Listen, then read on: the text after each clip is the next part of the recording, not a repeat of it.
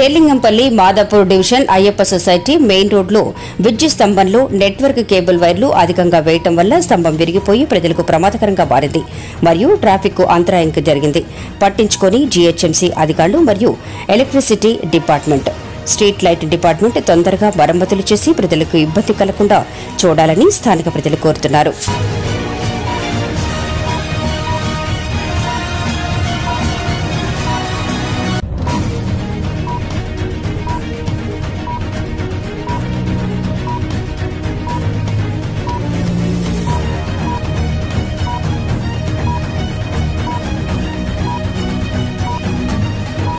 Serilingampally Madhapur division Ayyappa society main రోడ్లో విద్యుత్ స్తంభంలో network cable వైర్లు అధికంగా వేయటం వల్ల స్తంభం విరిగిపోయి ప్రజలకు ప్రమాదకరంగా మారింది మరియు ట్రాఫిక్ అంతరాయం జరిగింది.